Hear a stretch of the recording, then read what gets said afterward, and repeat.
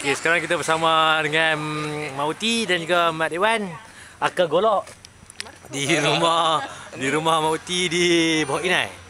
Okey, Siti nama apa junior ni? Muhammad Mak Akib. Muhammad Akif. Mak Ni. Mak Bawas. Mak. Okey, yang ni masih tak tahu lagi. Tak tanya. Okey, Jantina. Jantina, lah. Jantina. Pekel perut.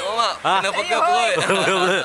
Bila nak keluar ni? 5 bulan, 5 bulan, bulan apa? InsyaAllah belah tu. Bulan satu. 14, 15 belah tu. Tak lama dah ha. Jadi kami lah daripada eh, apa sekolah payah dulu.